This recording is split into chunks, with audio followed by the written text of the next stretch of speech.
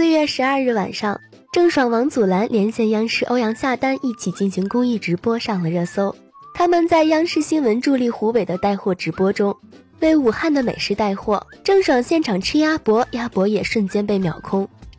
我，对，我选择吃的第一个是鸭脖子。好了，哇，郑爽，我要告诉你啊，刚才我们得到消息说鸭脖子已经卖光了，现在网友都在呼唤加单，所以郑爽，你知道你的威力了吧？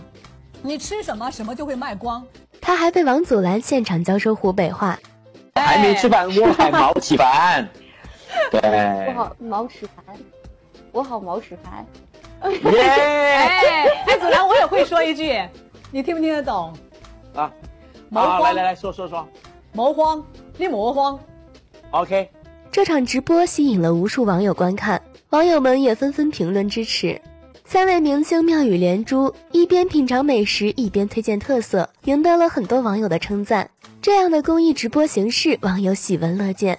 每一份下单都是一份爱心，去央视直播间小黄车一起下单吧，为湖北加油，为武汉加油，祝福湖北的明天会更好。